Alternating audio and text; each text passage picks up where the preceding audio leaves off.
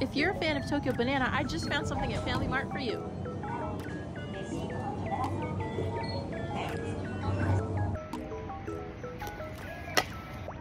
It's really firm. Bakimasu. Oh my god. It tastes just like a Tokyo banana in frozen form.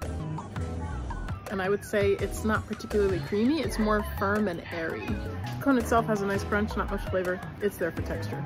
All right, I've got to say that as I'm getting closer to the bottom, it is getting creamier. That's nice.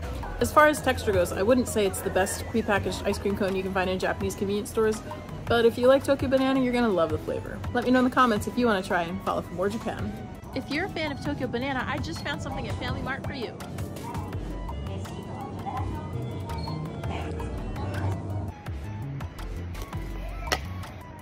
It's really firm. Bakimasu. My god.